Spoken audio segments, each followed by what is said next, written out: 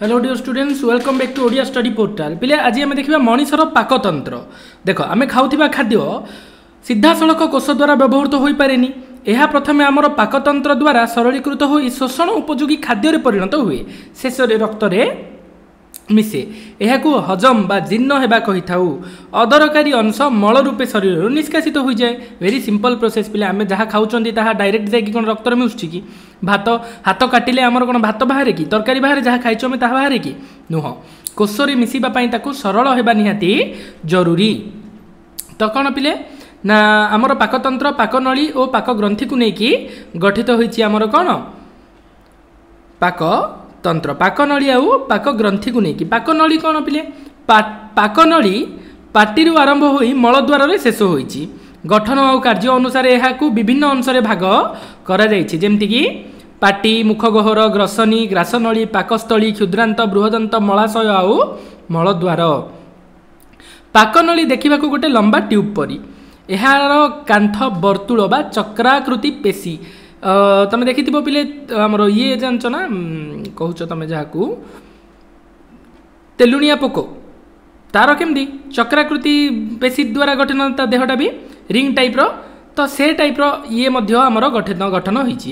ଲମ୍ବ ଭାବରେ ବିସ୍ତୃତ ବା ଅନୁଦୈର୍ଘ୍ୟ ପେଶୀ ଦ୍ୱାରା ଗଠିତ। ଏହି ଦୁଇ ପ୍ରକାର ପେଶୀର ସଂକୋଚନ ଶିଥିଳନ ଫଳରେ ଖାଦ୍ୟ ଗ୍ରସନୀରୁ ମଳଦ୍ୱାର ପର୍ଯ୍ୟନ୍ତ ଯାଇଥାଏ। ଇଏ କ'ଣ? ପମ୍ପିଂ ଟାଇପ୍ର ହୁଏ ପିଲେ।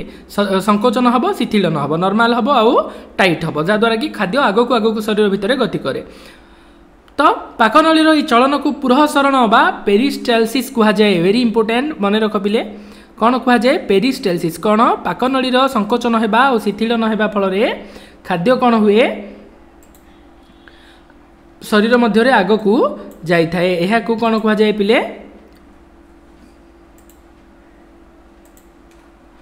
ପେରିଷ୍ଟେଲିସିସ୍ ବୋଲି କୁହାଯାଏ କ୍ଲିଅର ମନେ ରଖିବ।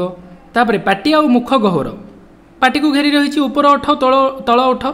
ପାଟି ଭିତରକୁ ରହିଛି ମୁଖ ଗହ୍ୱର। ମୁଖ ଗହ୍ୱରର ଦୁଇ କଡ଼ରେ ରହିଛି ଗାଲ ତଳେ ଜୀବ ଉପର ଅଂଶରେ ତାଳୁ ଆଉ ଦୁଇଟା ମାଢ଼ିରେ ଦାନ୍ତ। ପିଲେ ଛୋଟ ପିଲା ଭଳିଆ ପାଠ ନାଇଁ କି? ଏସବୁ ଘୋଷିଦେବ ଘୋଷିବ କ'ଣ? ଏସବୁ ଜାଣିଛ ତୁମେ ଅଲରେଡ଼ି ଦାନ୍ତ। ମଣିଷର ଜୀବନକାଳ ମଧ୍ୟରେ ପ୍ରତ୍ୟେକ ମାଢ଼ିରେ ଦୁଇଥର ଦାନ୍ତ ଉଠେ। ଜାଣିଛ ଭଲ ଭାବରେ ଇମ୍ପୋର୍ଟାଣ୍ଟ କ୍ୱେଶ୍ଚିନ୍ ଠିକ୍ ଅଛି। ଶିଶୁ ଅବସ୍ଥାରେ କ୍ଷୀର ଦାନ୍ତ ଉଠେ। ଛଅ ବର୍ଷ ବେଳକୁ ଉକ୍ତ ଦାନ୍ତ ଝଡ଼ିବାକୁ ଷ୍ଟାର୍ଟ କରେ। ଏହି ସ୍ଥାନରେ ସ୍ଥାୟୀ ଦାନ୍ତ ଉଠେ। ବୟସ୍କ ଲୋକର ତଳ ଉପର ମାଢ଼ିରେ ବତିଶଟି ଷୋହଳ ଷୋହଳ ଦାନ୍ତ ଦେଖାଯାଏ। ପ୍ରତି ମାଢ଼ିରେ ଚାରୋଟି କର୍ତ୍ତନ ଦାନ୍ତ ଭେରି ଇମ୍ପୋର୍ଟାଣ୍ଟ ଦୁଇଟି ଛେଦକ ବା ଶ୍ୱାନ ଦାନ୍ତ ଚାରୋଟି ଚର୍ବଣ ଦାନ୍ତ ଛଅଟା ପେଷଣ ଦାନ୍ତ ରହିଛି। ପକ୍କା କୋଶ୍ଚିନ୍ ଆସିବ ପିଲା ଏଥିରୁ ହେଲା। ଖଟା ମିଠା ପିତା ଲୁଣିଆ ସ୍ୱାଦ ବାରିବା ପାଇଁ କ'ଣ ଆମକୁ ହେଲ୍ପ କରେ? ଜୀବ। ତିନି ପ୍ରକାର ସ୍ୱାଦ ମୁକୁଳ ରହିଛି ପିଲେ। କେତେ ପ୍ରକାର ସ୍ୱାଦ ମୁକୁଳ ରହିଛି ଜୀବରେ? ତିନି ପ୍ରକାର ଖାଦ୍ୟକୁ ଦାନ୍ତ ନିକଟରେ ପହଞ୍ଚାଇବା ସହିତ କଥା କହିବାରେ ମଧ୍ୟ ଜୀବ ସହାୟତା କରେ। ଜୀବ ଧରିକି କଥା କହିପାରିବ କି? ନାହିଁ ଗ୍ରସନୀ ଆଉ ଗ୍ରାସନଳୀ। ନାସାପଥ ମୁଖ ଗହ୍ୱର ମିଶି ଗ୍ରସନୀ ତିଆରି ହୋଇଛି। କ'ଣ କ'ଣ? ନାସାପଥ ଆଉ ମୁଖ ଗହ୍ୱର ମିଶିକି ଗ୍ରସନୀ ତିଆରି ହୋଇଛି। ଏହା ଉଭୟ ଖାଦ୍ୟ ଆଉ ଶ୍ୱାସ ଯିବା ପାଇଁ ଇମ୍ପୋର୍ଟାଣ୍ଟ ପିଲେ ଦେଖ। ମୁଖ ଗହ୍ୱର ଆଉ ଆମର ଖାଦ୍ୟ ନଳୀର ପାଟି ପାଖଟା ମୁହଁ ପାଖଟା ଏଇଟା ନେଇକି ତିଆରି ହେଇଛି ତୁମର ଗ୍ରସନୀ। କ୍ଲିଅର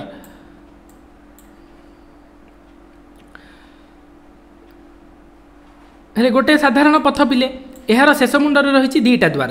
ଗୋଟେ ଦ୍ୱାର ଖୋଲିଛି ଶ୍ୱାସନଳୀ ଭିତରକୁ ଅନ୍ୟଟି ଖୋଲିଛି ଖାଦ୍ୟ ନଳୀ ମଧ୍ୟକୁ। ତ ଖାଦ୍ୟର ନଳୀର ଦ୍ୱାରକୁ କ'ଣ ଗଲେଟ୍ କୁହାଯାଏ? ଶ୍ୱାସନଳୀର ଦ୍ୱାରକୁ ଗ୍ଲଟିସ୍ କୁହାଯାଏ। ଭେରି ଇମ୍ପୋର୍ଟାଣ୍ଟ ହେଲା? ଶ୍ୱାସନଳୀର ଦ୍ୱାରରେ ରହିଛି ଏକ ତରୁଣାସ୍ଥିର ପ୍ଲେଟ୍ ମାନେ ପତଳା। କାନ ଉପରେ ଯେମିତି ହାଡ଼ ନଥାଏ ପିଲେ ସେଇଟାକୁ କୁହାଯାଏ ତରୁଣାସ୍ଥି। ପତଳା ଗୋଟେ ଅସ୍ଥି ରହିଛି ହାଡ଼ଟା।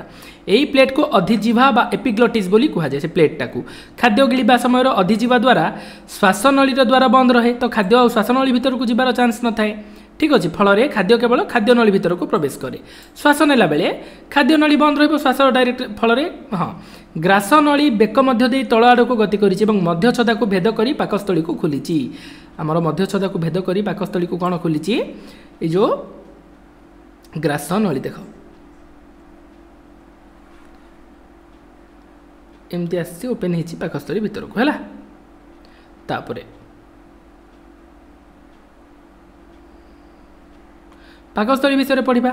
ଉଦର ଗହ୍ୱରର ବାମ ପଟେ ପାକସ୍ଥଳୀ ରହିଛି ଇମ୍ପୋର୍ଟାଣ୍ଟ ଏହାର ଉପର ଭାଗ ଚଉଡ଼ା ତଳ ଅଂଶ କମ୍ ଓସାରିଆ। ଠିକ୍ ଅଛି ଉପର ଅଂଶ ହୃତ୍ପିଣ୍ଡ ନିକଟରେ ଥିବାକୁ ଏହି ଭାଗକୁ କ'ଣ କାର୍ଡ଼ିଆକ୍ ଷ୍ଟୋମାକ୍ କୁହାଯାଏ କାହିଁକି କୁହାଯାଏ? ତଳଭାଗକୁ ପାଇଲୋରିକ୍ ଷ୍ଟୋମାକ୍ କୁହାଯାଏ ଭେରି ଇମ୍ପୋର୍ଟାଣ୍ଟ ହେଲା। ପାଇଲୋରିକ୍ ଷ୍ଟୋମାକ୍ ଶେଷରେ ଥିବା ମୁଦ୍ରିକା ଆକାରର ମାଂସପେଶୀ ବା ଅବରୋଧକୁ ପାଇଲୋରିକ୍ ସ୍ପିଣ୍ଟର କୁହାଯାଏ। ଏଇଟା ବି ଇମ୍ପୋର୍ଟାଣ୍ଟ ଲେଖିବ। ପଢ଼ିବ। ଏହାର ସଂକୋଚନ ଉନ୍ମୋଚନ ଫଳରେ ପାକସ୍ଥଳୀରୁ ପାକସ୍ଥଳୀରୁ ଅର୍ଦ୍ଧଜୀର୍ଣ୍ଣ ଖାଦ୍ୟ ଅଳ୍ପ ଅଳ୍ପ ପରିମାଣରେ କ୍ଷୁଦ୍ରାନ୍ତ ମଧ୍ୟକୁ ପ୍ରବେଶ କରେ। ତ ପାକସ୍ଥଳୀରୁ ଖାଦ୍ୟ କେଉଁଠିକି ଯାଇ ପିଲେ? କ୍ଷୁଦ୍ରାନ୍ତ ଭିତରକୁ ଯାଏ। କ୍ଷୁଦ୍ରାନ୍ତ ବୃହଦନ୍ତ କ'ଣ ଦେଖ? କ୍ଷୁଦ୍ରାନ୍ତ ପାକସ୍ଥଳୀରୁ ବୃହଦନ୍ତ ପର୍ଯ୍ୟନ୍ତ ଲମ୍ବିଛି। ଏହା ଗ୍ରହଣୀ ଜେନୁନମ୍ ଇଲିୟମକୁ ନେଇକି ଗଠିତ। ମାନେ ମୂଳରୁ କ୍ଷୁଦ୍ରାନ୍ତ ପର୍ଯ୍ୟନ୍ତ ସବୁ ଯାକ କ'ଣ କ'ଣ ରହିଛି? ଗ୍ରହଣୀ ଜେନୁନମ୍ ଆଉ ଇଲିୟମ୍ ବୃହଦନ୍ତ ଖାଦ୍ୟନଳୀର ଶେଷ ଅଂଶ ଏବଂ ତିନି ଭାଗରେ ଇଏ ବି ସିକମ୍ କୋଲନ୍ ମଳାଶୟ ଲାଷ୍ଟ ହେଲା କି ଦେଖ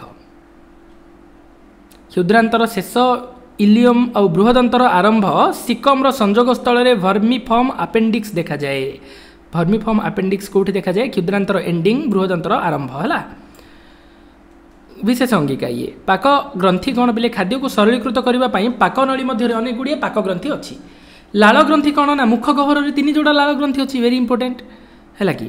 ଏଥିରୁ ଲାଳ କ୍ଷରିତ ହୁଏ। ଲାଳରେ ଟାୟାଲିନ୍ ନାମକ ଏକ ଏଞ୍ଜାଇମ୍ ରହିଛି। ଏହା ଶ୍ୱେତସାର ଖାଦ୍ୟକୁ କ'ଣ କରାଏ?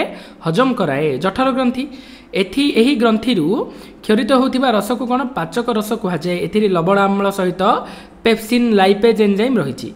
ମଣିଷ ଶରୀରରେ ଥିବା ଗ୍ରନ୍ଥି ମଧ୍ୟରେ ଏହା ସର୍ବବୃହତ୍ ପିଲେ କେଉଁଟା? ମଣିଷ ଶରୀରରେ ଗ୍ରନ୍ଥି ଭିତରୁ ସବୁଠୁ ବଡ଼ ଗ୍ରନ୍ଥି ହେଉଛି ଯକୃତ। ଏହା ଖାଦ୍ୟନଳୀ ବାହାରେ ରହିଛି। ଏଥିରୁ କ୍ଷରିତ ରସକୁ ପିତ୍ତରସ ନଳୀ ଦ୍ୱାରା ଗ୍ରହଣୀ ମଧ୍ୟକୁ ପ୍ରବେଶ କରେ। ପିତ୍ତରସ ଯୋଗୁଁ କ'ଣ ହୁଏ ପିଲେ? ମଳର ରଙ୍ଗ ହଳଦିଆ ନାଇଁ କି?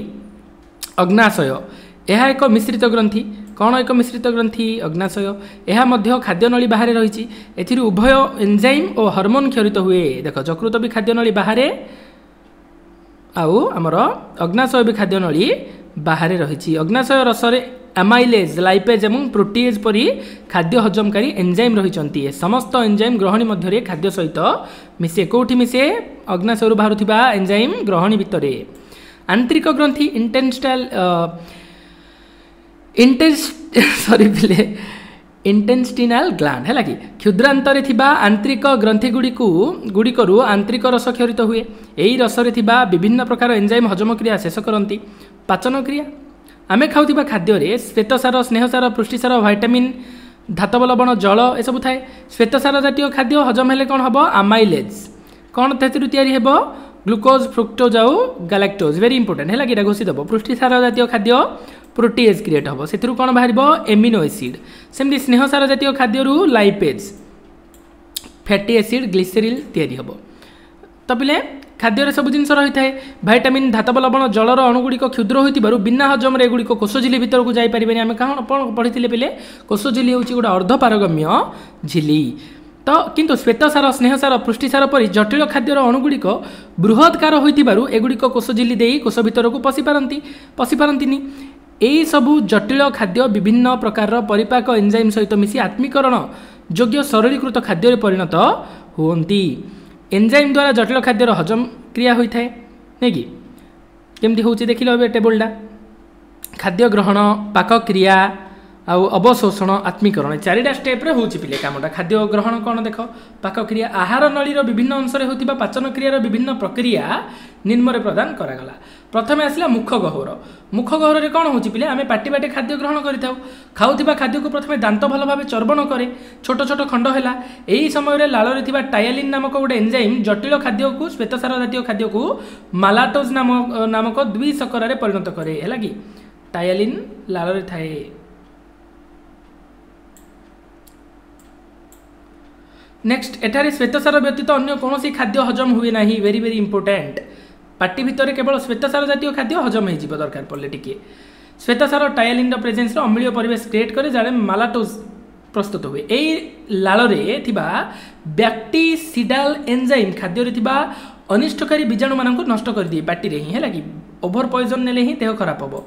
ଖରାପ ହୋଇଥିବା ଖାଦ୍ୟ ପାଟି ଭିତରେ ହିଁ ମାନେ ଇଏ ହେଇଯାଏ ନର୍ମାଲ ହେଇଯାଏ। ଏହି କାରଣରୁ ସ୍ତନ୍ୟପାୟୀ ପ୍ରାଣୀମାନେ ଜୀବ ଦ୍ୱାରା ଚାଟି ଚାଟି ନିଜ ଶରୀରରେ ହେଉଥିବା କ୍ଷତକୁ ଭଲ କରିଦିଅନ୍ତି।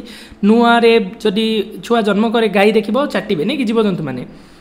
ତାଦ୍ୱାରା ବାହାର ଜୀବାଣୁମାନେ ତାକୁ ସହଜରେ ଆଟାକ୍ କରିପାରିବେ। ଗ୍ରାସନଳୀ ନରମ ଖାଦ୍ୟପିଣ୍ଡ ଗଲେଟ ବାଟ ଦେଇ ଗ୍ରାସନଳୀ ମଧ୍ୟରେ ପ୍ରବେଶ କରେ। ଏଠାରେ କୌଣସି ପ୍ରକାର ଖାଦ୍ୟର ହଜମ ହୁଏ ନାହିଁ।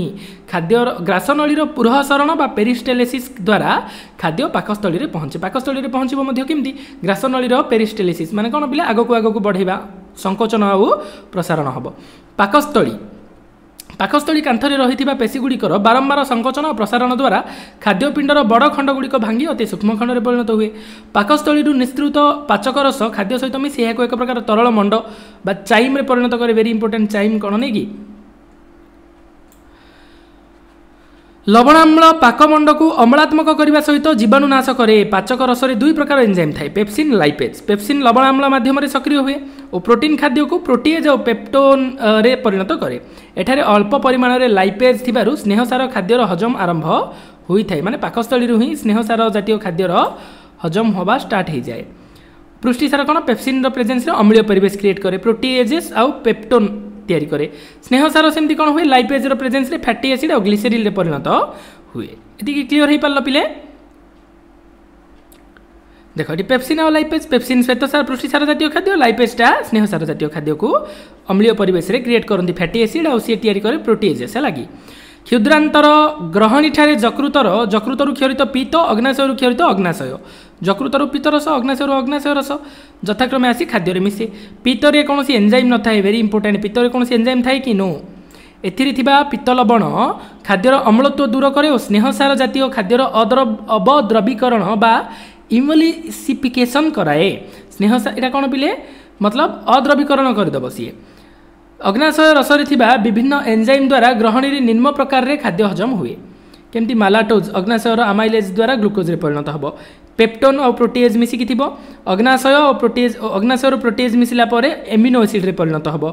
ଅବଦ୍ରବୀକୃତ ସ୍ନେହସାର ଥିବ। ଅଗ୍ନାଶୟରୁ ଲାଇପେଜ୍ ଆସିକି ଫ୍ୟାଟି ଏସିଡ୍ ଗ୍ଲିସେରିଲ୍ରେ ପରିଣତ ହେବ। ତ ଏ ପ୍ରକାର ସବୁ ଏରା ଘୋଷିକି ମନେ ରଖିବ। ନେକ୍ସଟ ଏହି ସ୍ଥାନରେ ସମସ୍ତ ଖାଦ୍ୟର ହଜମ ପ୍ରକ୍ରିୟା ସମ୍ପୂର୍ଣ୍ଣ ହୋଇଥାଏ ଜେଜୁନମ୍ ଆଉ ୱିଲିୟମ୍ର କ୍ଷରିତ ଆନ୍ତରିକ ରସରେ ରହିଥିବା ବିଭିନ୍ନ ପ୍ରକାର ଏନ୍ଜାଇମ୍ ହଜମ ହୋଇନଥିବା ଅବଶିଷ୍ଟ ଖାଦ୍ୟକୁ ସମ୍ପୂର୍ଣ୍ଣ ହଜମ କରିଦିଅନ୍ତି ଏଠାରେ ହେଉଥିବା ହଜମ ପ୍ରକ୍ରିୟା ଏମିତି ଦେଖ ଅବଶିଷ୍ଟ ମାଲେଟୋଜ୍ ଆନ୍ତରିକ ମାଇଲେଜ୍ ଗ୍ଲୁକୋଜ୍ରେ ପରିଣତ ମାନେ ଗ୍ଲୁକୋଜ୍ ଚିନି ଚିପିଲେ କୋଷ ଆମର ଗ୍ଲୁକୋଜ୍କୁ ଚିନିଛି ବ୍ଲଡ଼୍ରେ ଗ୍ଲୁକୋଜ୍ ମିଶିକି ଯାଏ ଅବଶିଷ୍ଟ ପେପ୍ଟନ୍ ପ୍ରୋଟିଏଜ୍ ଆନ୍ତରିକ ପ୍ରୋଟିଏଜ୍ ମିଶିକି ଏମିନୋ ଏସିଡ୍ରେ ପରିଣତ ହେବ ତାପରେ ଅବଶିଷ୍ଟ ସ୍ନେହସାର ଆନ୍ତରିକ ଲାଇପେଜ୍ ଦ୍ୱାରା ଗ୍ଲିସେରିଲ୍ ଫ୍ୟାଟି ଏସିଡ୍ରେ ପରିଣତ ହେବ। ତ ଏସବୁକୁ ଆମେ ଯେଉଁ ଲାଷ୍ଟ ଏଣ୍ଡ ପ୍ରଡ଼କ୍ଟ ଦେଖୁଛନ୍ତି ତାକୁ ଚିହ୍ନିଛି ଆମର କୋଷ ବ୍ଲଡ଼୍ରେ ମିଶିଲା ପରେ ଚିହ୍ନିବ। ତ ପିଲେ ଦେଖ ଖାଦ୍ୟ ବୃହଦନ୍ତରେ ପହଞ୍ଚିଲା ବେଳକୁ ଏହା ହଜମ ହୋଇ ସରଳୀକୃତ ଖାଦ୍ୟରେ ପରିଣତ ହୋଇଥାଏ। ତେଣୁ ଏଠାରେ କୌଣସି ହଜମ ପ୍ରକ୍ରିୟା ହୁଏନି। ଅବଶୋଷଣ କ'ଣ ପିଲେ?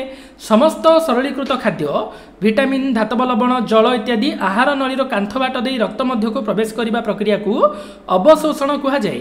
ଏହି ପ୍ରକ୍ରିୟା ନିଷ୍କ୍ରିୟ ଅବଶୋଷଣ ଓ ସକ୍ରିୟ ଅବଶୋଷଣ ଦ୍ୱାରା ହୋଇଥାଏ। ମୁଖ ଗହ୍ୱରରେ ଖାଦ୍ୟ ପଦାର୍ଥର ଅବଶୋଷଣ ହୁଏ ନାହିଁ କିନ୍ତୁ କେତେକ ଔଷଧର ଅବଶୋଷଣ ହୋଇଥାଏ। ଦେଖ ମୁଖ ଗହ୍ୱରରେ କ'ଣ ପିଲେ? ଖାଦ୍ୟ ପଦାର୍ଥର ଅବଶୋଷଣ ହୁଏନି। କିନ୍ତୁ କିଛି ଔଷଧର ଅବଶୋଷଣ ହୋଇଥାଏ। ସେହିପରି ପାକସ୍ଥଳୀରେ ଆସ୍ପ୍ରିନ୍ ପରି କେତେକ ଔଷଧ ସୁରାସାର ଇତ୍ୟାଦିର ଅବଶୋଷଣ ହୋଇଥାଏ। ମଣିଷ ଶରୀର ପାଇଁ ଆବଶ୍ୟକ ହେଉଥିବା ସମସ୍ତ ପ୍ରକାର ସରଳୀକୃତ ଖାଦ୍ୟ ପଦାର୍ଥର ଅବଶୋଷଣ ପ୍ରକ୍ରିୟା ମୁଖ୍ୟତଃ କ୍ଷୁଦ୍ରାନ୍ତରେ ହୋଇଥାଏ।